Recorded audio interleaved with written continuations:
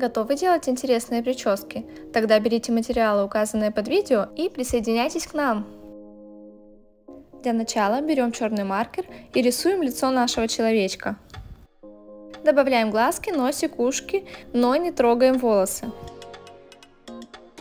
После берем кисть и наносим краску по линии волос. Обязательно добавляйте побольше воды. Начинается самое интересное.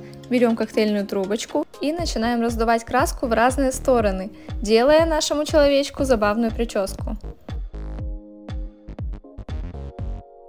Супер укладка готова, нам осталось только раскрасить одежду.